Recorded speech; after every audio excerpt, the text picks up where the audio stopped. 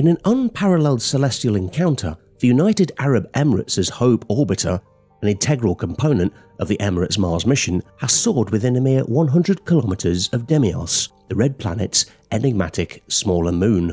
This breathtakingly close approach has yielded stunning images and unprecedented insights into the moon's true origins. The Hope orbiter captured striking visuals and conducted ultraviolet and infrared observations, unveiling previously uncharted regions of Deimos with extraordinary detail.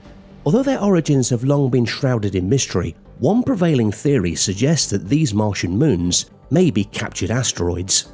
However, numerous questions regarding their composition remain unanswered. The Hope Orbiter's groundbreaking revelations now promise to unlock the enigmatic past of these celestial bodies, transforming our understanding of Mars's celestial companions.